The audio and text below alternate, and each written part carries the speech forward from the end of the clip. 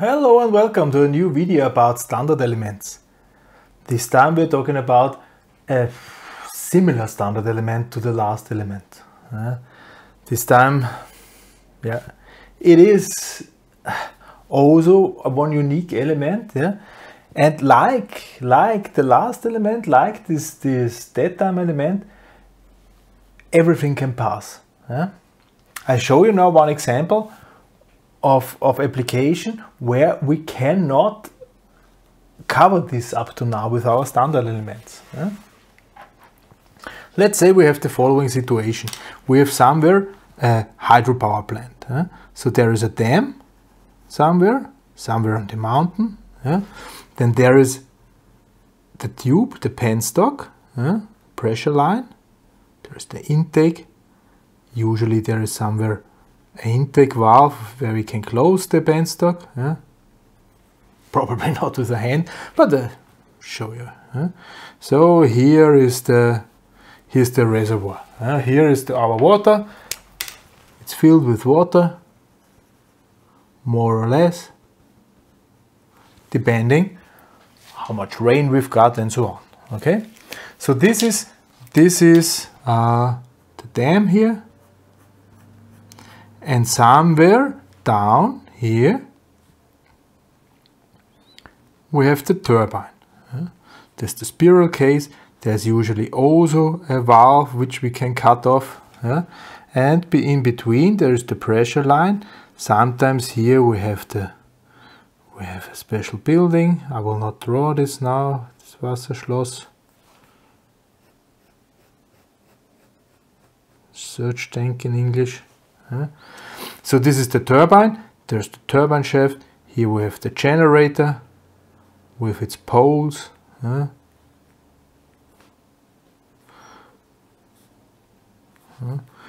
here we have the surge line. And here we end up somewhere, usually, of course, throw it a little bit further. Yeah. So usually the turbine is covered by this. Yeah. If it's a Francis turbine or something like this. Here we have the water level which is downstream. Yeah. So I also have a valve. So the water is rushing through here, yeah, through the turbine, yeah, going down here. Good. If we are connected to the grid, yeah, this generator here delivers electrical power. Uh, electrical power is delivered to the network. Uh. And we want to control this electrical power. This is our task. Yeah? So here's, here's the penstock line and this penstock line. What we have to do? What we have to do to increase the power? Let's say we want to increase it. Huh?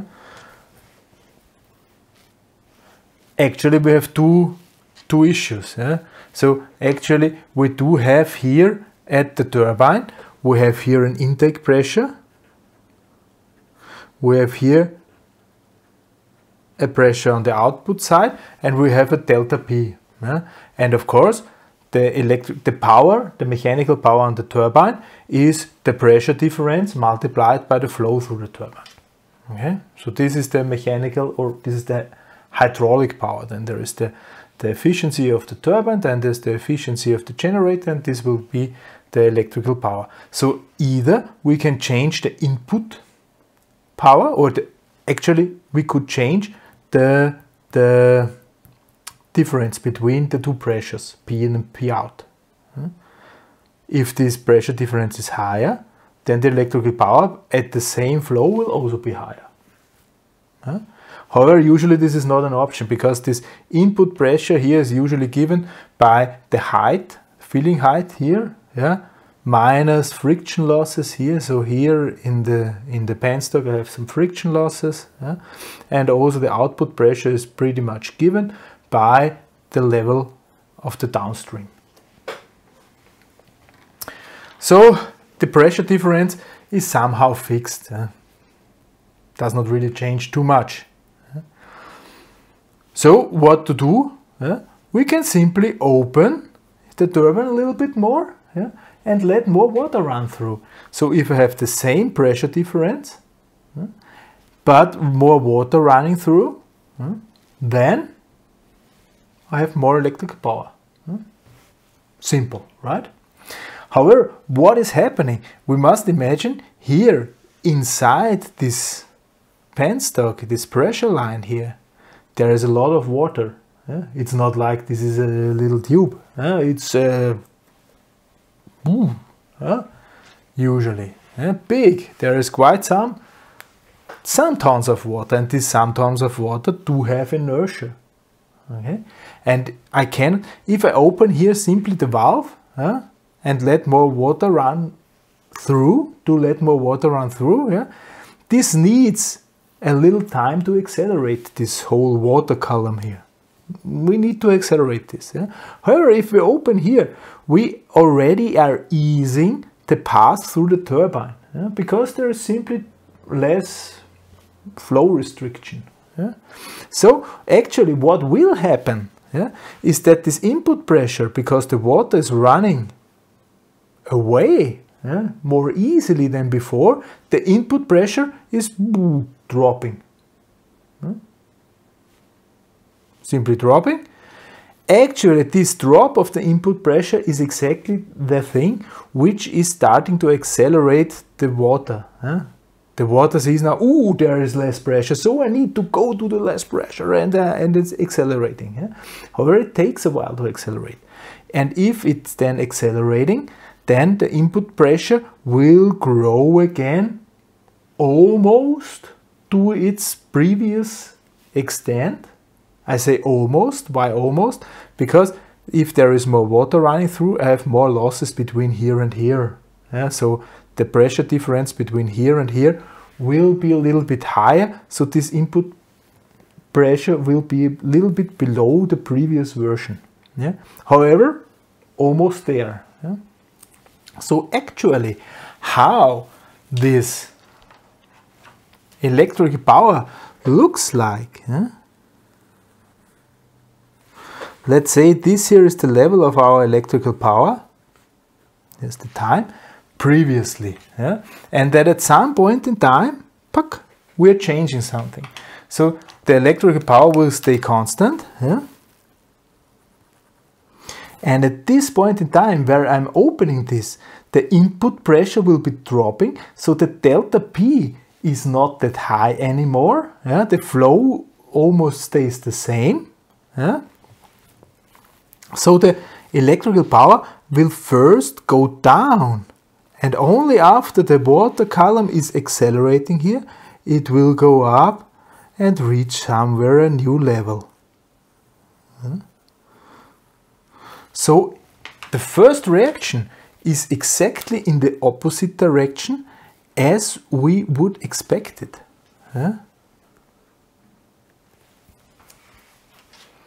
This we cannot handle with our elements we've got so far.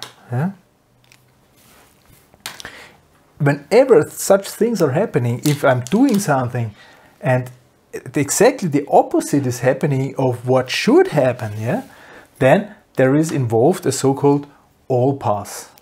Huh? So it's an all pass element.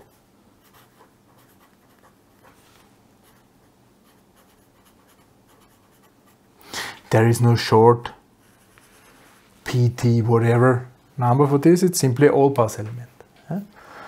And the transfer function of an all pass element simply uh, simply looks like like this. So there's a GS equals and now there's 1 minus st divided by 1 plus st. Okay, this is the transfer function of an all-pass element. So if we are looking into the transfer function in the frequency response, we simply have to replace s with j omega. So it looks like 1 minus j omega t, 1 plus j omega t. Okay. This is, this is the frequency response. Now let's think about what is the total value of this? Yeah. It is that the, the absolute value of this divided by the absolute value of this. And since this since these two t's, this is the same t. Yeah, this is not t1, t2. This is the same t. Since these two t's are the same, the absolute value of this and the absolute value of this is the same. So actually, this is 1, always. Because if we calculate the absolute value of this and we calculate the absolute value of this, we will end up in the same square root of 1 plus omega t squared. Yeah? So it's 1. Yeah? And what is happening with the argument? Actually, that's the argument of here yeah? minus the argument of here. Yeah? So the argument of here is minus Ackerstangens, this one, yeah? from omega t. Yeah? Actually, it's the arccostangens from minus omega t. However, this is the same. Yeah?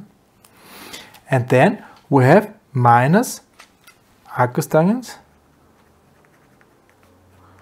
from omega t. Yeah? So actually there are two times. So it's it's minus two arccostangens for omega t. Okay.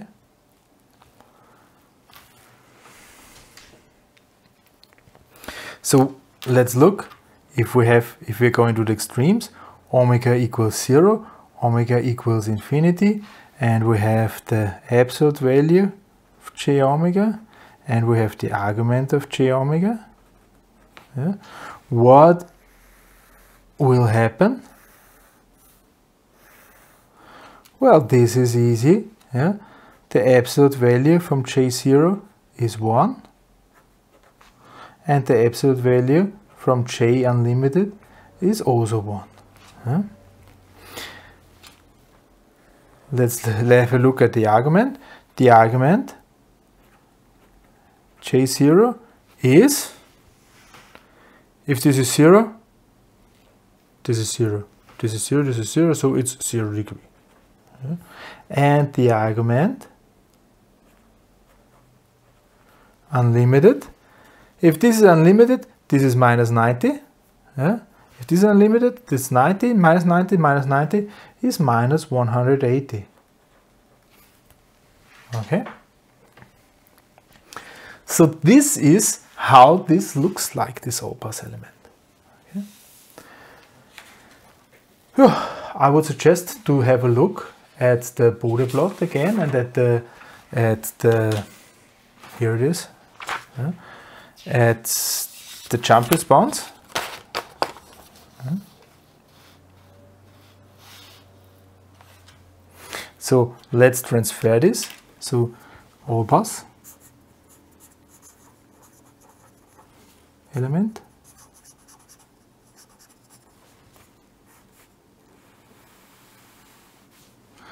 G from S equals 1 minus ST 1 plus ST yeah?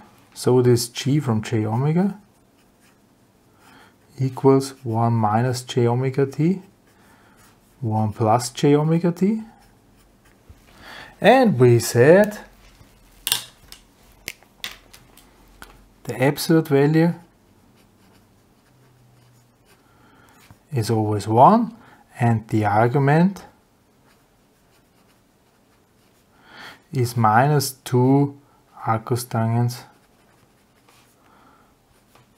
from omega t. Okay. Let's have a look at the Bode plot first. Eh? Bode plot for the absolute value is rather easy, it's 1. Hmm? Back. Yeah. Here, at low values, we are at around 0. Hmm? At high values, we are at minus 180. Yeah? And let's see if there is a certain frequency. Yeah? omega equals 1 divided by t. Yeah? If this is the case, then it's arc cosine for 1, it's minus 45, 2 times, so arc cosine for 1 is 45, minus 2, minus 90. Yeah? So I will say now here is 1 divided by t. Yeah? And here we have minus 90 degree. So it looks a little bit like a PT1 element. However, this element here is not changing from 0 to 100, uh, from 0 to 90. It is changing from 0 to minus 180. Yeah? But actually, it's looking pretty much the same. Okay?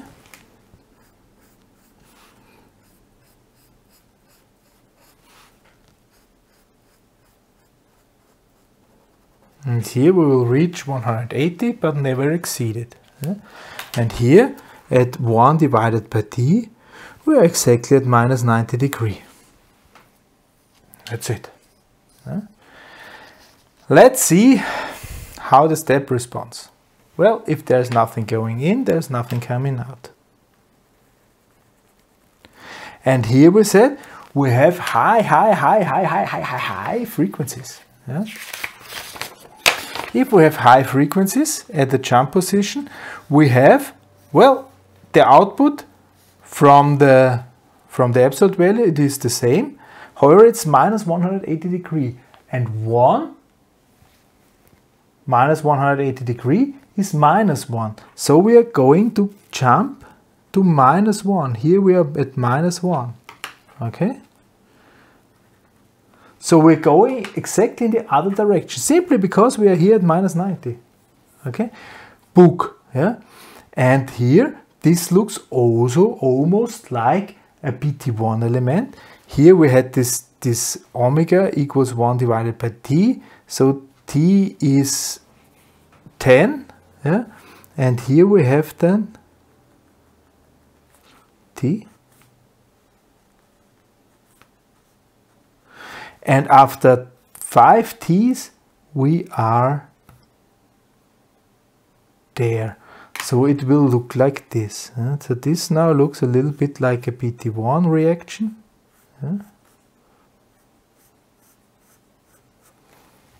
this is how this is looking. Minus 1 because we have minus 180 and then going to the new value very similar to this reaction, right?